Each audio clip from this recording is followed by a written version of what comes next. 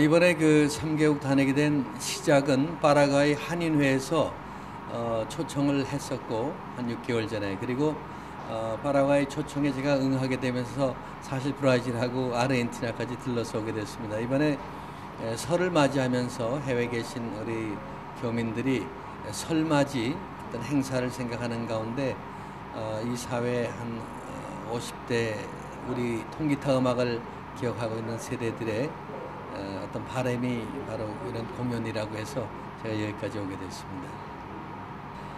어, 저는 한 80개 나라를 다녔는데 우리 한국인들이 살지 않는 곳을 본 적이 없습니다. 그리고 어떤 한국인이든 그 땅에 민들레처럼 뿌리를 내리고 살아가시는 그런 끈기 있는 삶을 늘 보게 됐는데 어, 지금 세계적으로 모든 경제가 아주 안 좋은 상태고 아마 파라과이도 그 어, 예외는 아니라고 생각됩니다. 그러나 어, 제 경험으로 봐서는 우리 그 아주 그 힘들었던 그 IMF 때도 우리 해외에 있는 동포들이 정말 한국인의 끈기로 이겨나가는 모습을 볼 수가 있었고 또 그분들의 모습을 통해서 우리 거기에 있는 동포들로 힘을 얻었던 그런 적이 있는데 어, 물론 모든 게 어렵지만은 오늘날까지 이렇게 에, 끈기를 가지고 어, 이렇게 잘 해오신 것처럼 이 어려운 시대를 잘 뚫고 나가시라고 믿습니다. 그리고 와 보니까 정말 열심히들 일하는 모습이 굉장히 감동적입니다.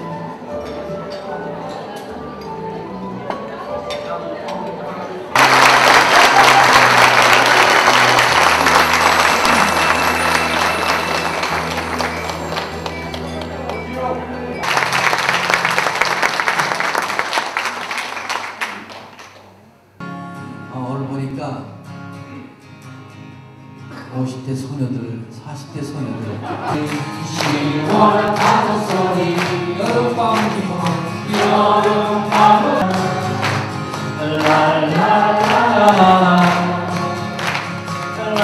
아, 예. 이제는 이민 역사들이 많기 때문에 20년, 30년, 40년 된 분들이 많습니다. 그래서 옛날 추억을 되새기기 위해서 이번에 구정을 맞이해서 맞이해서 이렇게 자리 마련하게 되었습니다.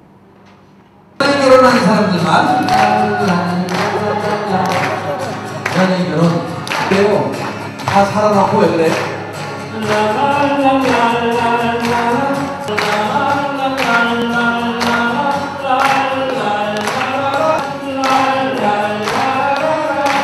땅굴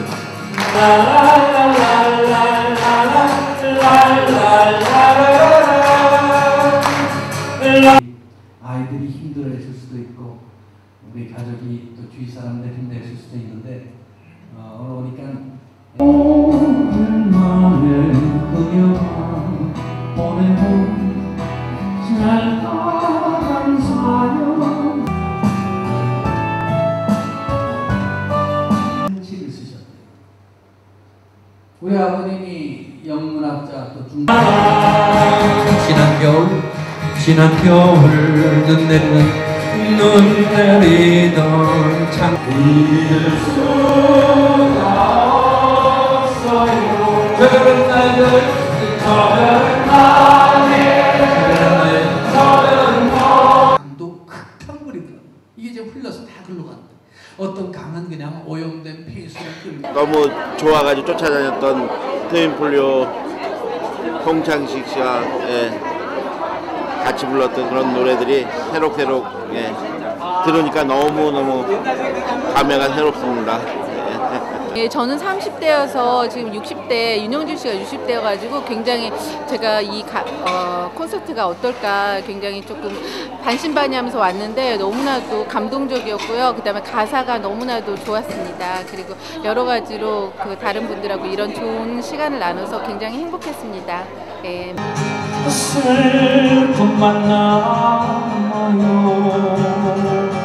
창가에 제일 큰 학교예요. 아, 더더군다나 오늘 이 저녁 두 번 둘째 날 공연을 이 학교에서 한다는 게 저는 굉장히 큰 그래서 기업하시는 분들이 또 어, 많은 기부를 하셨기 때문에 이런 학교가 지어진 거거든요. 너무나 제가 좋아하는 팝송 가운데서 그 카네기 홀에서 우리 가족이 에,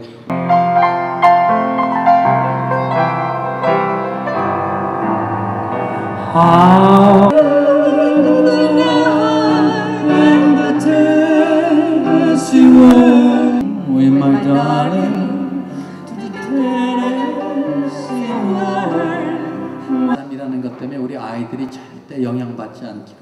그래서 우리가 기자들을 그렇게 많이 하는 아니 좀 기다리시면 오셔가지고 사인해 주시라고.